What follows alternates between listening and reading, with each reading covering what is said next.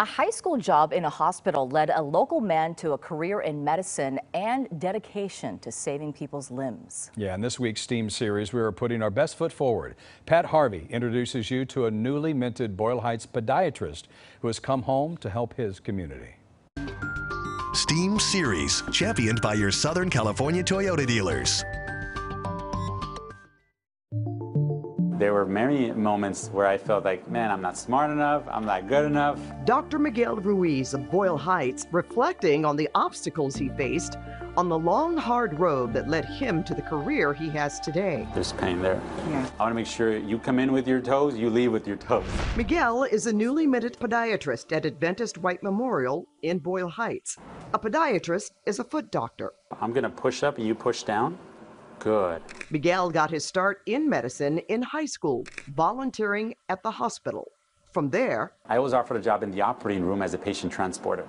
Besides transporting patients, I would also transport specimens. It could be tumors, it could have been tissue that go to the lab. It was a specimen transport call that changed Miguel's career trajectory. This specimen was in a big red bag, hazard signs all over.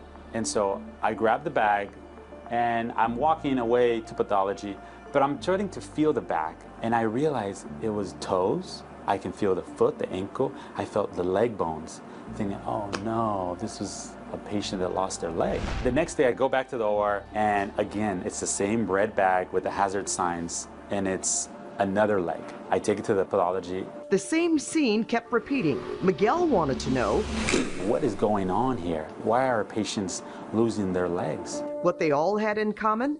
Uncontrolled diabetes. The sugar was so high, they had developed some numbness and tingling in their foot where they didn't have any sensation. No pain meant cuts and injuries went unnoticed and untreated. I wanted to make a difference in my patients' lives, and I said, how can I do that? We're in a system where it's very rushed and doctors are swamped with patients, with charts, you know, and getting pulled in all different directions. So I am, you know, praying that I have one minute to spend with each patient and talk about education. Of all the STEAM disciplines, Miguel relies most on science and art.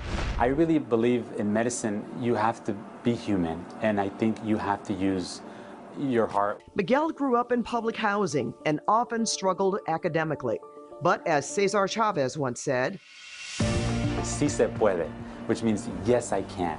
Graduating college and wearing his white coat. I feel like I transformed. It's a humbling experience to serve the community where I grew up. His advice to young, aspiring doctors with the odds stacked against them? Just keep showing up. How do you become a doctor? You show up the next day.